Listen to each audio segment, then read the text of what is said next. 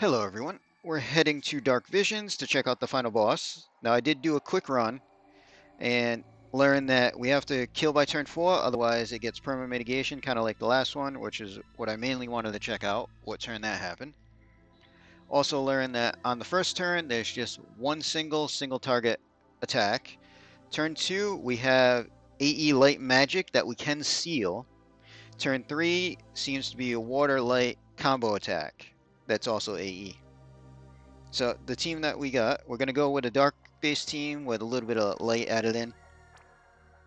We have Sephiroth. Base, water and light resist. Dual wield with the scarf so the auto hits four times. And Barmet synergies just so that we can summon right away. And then shift. I didn't really focus on any uh, resist. We just went straight for LB damage. So 300 Fairy, Reaper, and Limit there. Yuna, Water and Light Resist in the base form. Gave her one extra bomb at Synergy just to make extra sure we can summon turn one.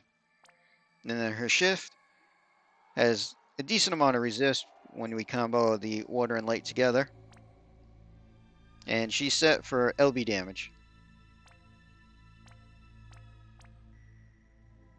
So 240 Esper, 160 Evo, 300 limit. Kralia is our evasion provoker. 100% draw attacks, 100% evade. We did give her a Nethicite. And she's got a lot of water and light resist. And then her shift form, we set up just to add a little bit of damage with her limit.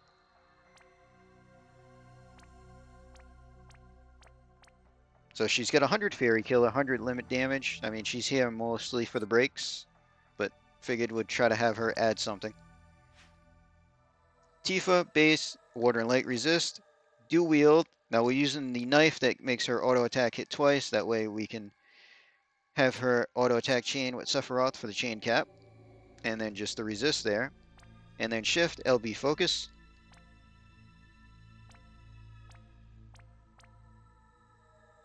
150 Fairy, 175 Reaper, 300 limit damage. And no real resist there. Then we have Bulwark. So resist in the base form. Dragon's Brush, Call the Wild, a bunch of LB fill. So 950 rate boost, max crystals per turn.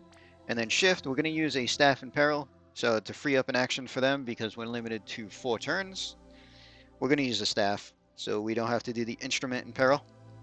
And then it's just Spirit and Killers for them. 150 Fairy, 225 Reaper. And they do have Resist. And then we have Carton, so base form is Resist. And then Shift. Frenzy Focus. We let him use Katanas just to max out both killers. And then he's got the Promise and the Performer for chain uh, the lower end chain boost. So Fairy and Reaper, 300 for him.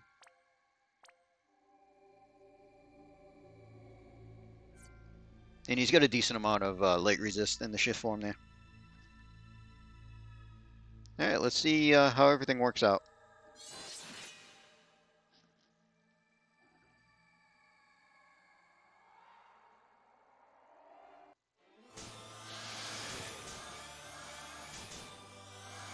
So once auto casting is done, we're going to have Yuna summon Anima right away. Gives us a dark field that should last like 10 turns.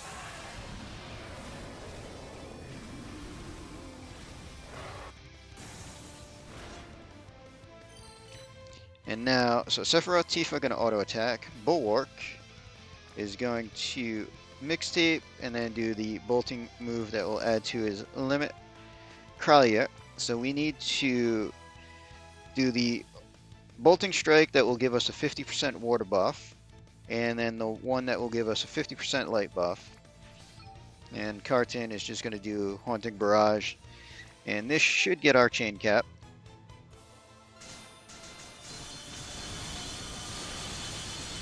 There we go, 100 chain, so that's taken care of.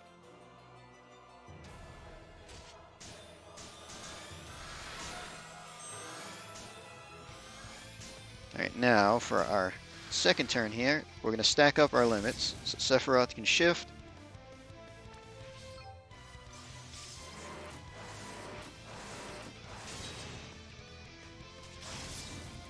Tifa can shift.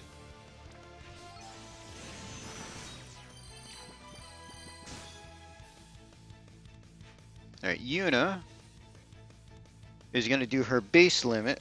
Let's see, we want to do that after we're hitting everybody. So let's have Carton shift and do his shifted limit first for the modifier.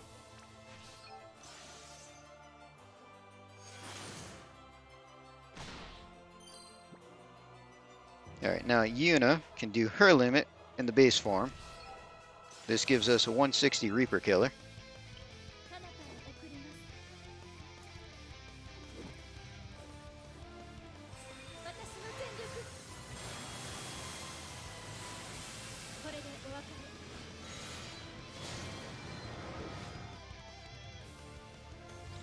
Bulwark is going to shift and do the shifted limit for the big stat buffs. Well, 350, but...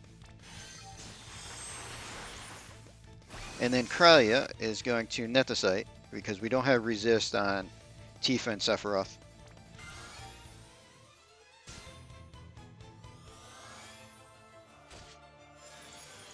So that way we don't have to worry about the light damage there.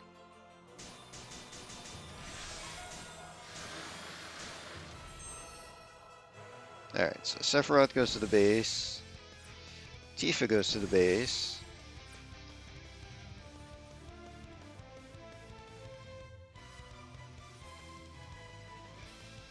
Carton's gonna go to the base.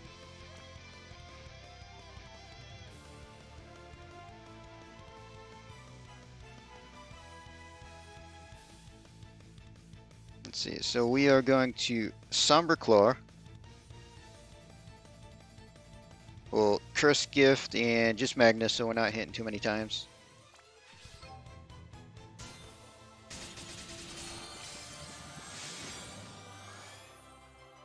Alright, Bulwark. We're going to Darken View the rest of the team. We're going to do our Fury Killer. And we have to do his theme for his own modifier there. Alright, for Yuna, we're going to shift and do her buffs.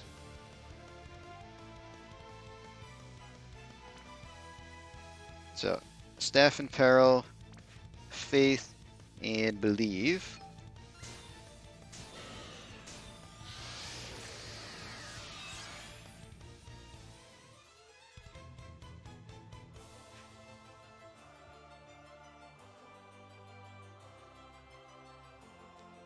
See, make sure I do everything in the right order here. Yeah, so that's 20 to all.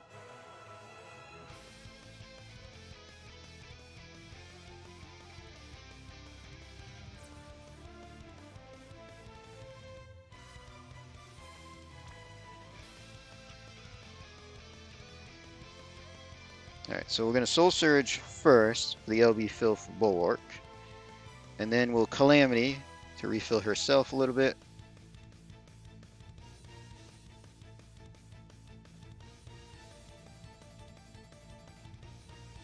And then, doesn't fully matter, we can do the light buff one again.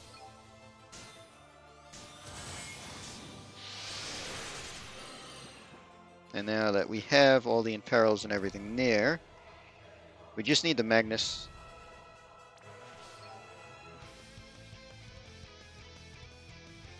Magnus there, and on Sephiroth.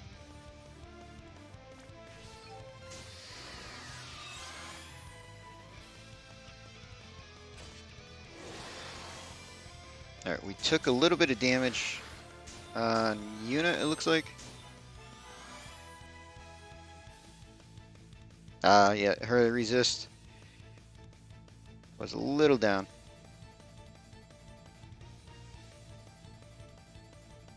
Yeah, because that's only 185 combined, not 200.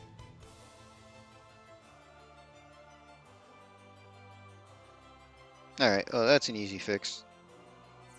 My math was a little off.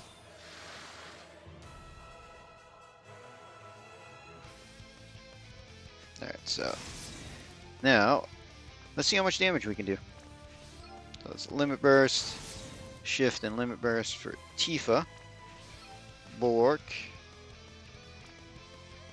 triple bolting, Carton, bit of frenzy, Yuna, limit burst, Kralia. Let's shift and LB there.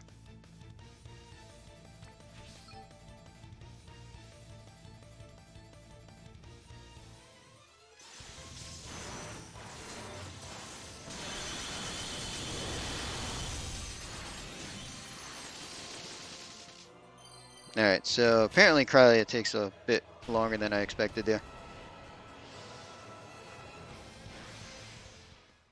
4.6 isn't terrible, though, for like a first run where we made a couple of mistakes.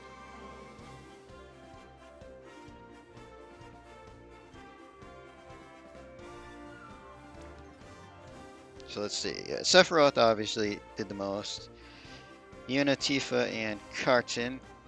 But Yuna and Tifa pretty much tied. Tifa is definitely not maxed out completely. It's just she's a pain to chain in between other stuff. But yeah, Kralia can definitely do more. I mean, all of her hits were pretty much after the chain, so we got to start her first is all.